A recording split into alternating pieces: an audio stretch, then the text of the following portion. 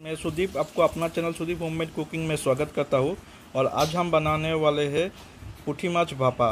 तो यहाँ पर हमने पुठी माछ को ले लिया है, कुछ दो है, और यहाँ पर है हल्दी mustard seeds white mustard seeds अदरक हरी मिर्च, सूखी मिर्च, नमक, गंधराज लेबू प्याज और लहसुन। और यहाँ पर है सरसों का तेल।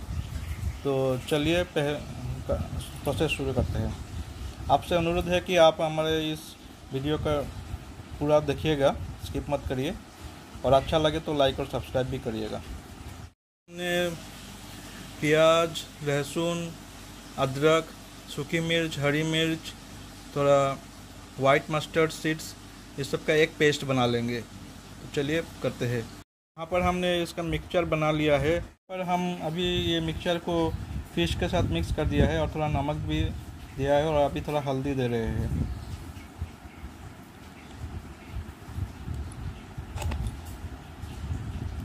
और गंधराज लेबू, नींबू।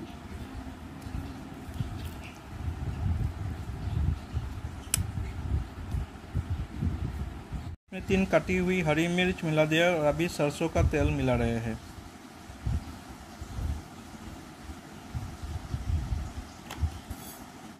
के लिए यहाँ पर प्रेशर कुकर में एक नीचे में एक थोड़ा सा छोटा सा पतीला रखा है और पानी डाल के इसके ऊपर में हम ये टिफ़िन डाल देंगे।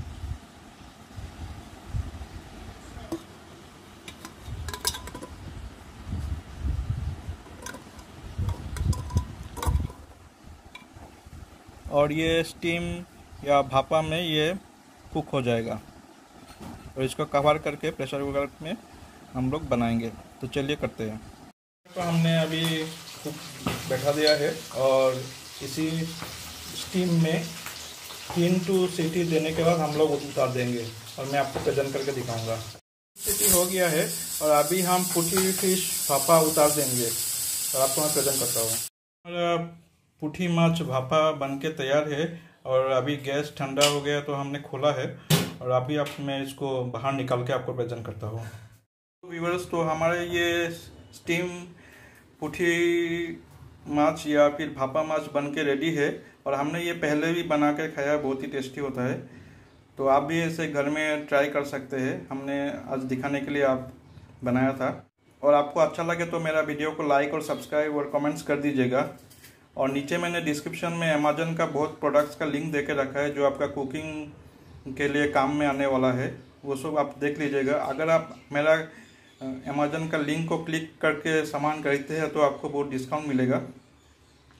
और अगर आप यूट्यूब वीडियोस बनाते हैं तो भी बहुत सारे प्रोडक्ट्स हैं जो आप वहाँ से देख सकते हैं, जो अब मैंने चॉइस करके रखा है।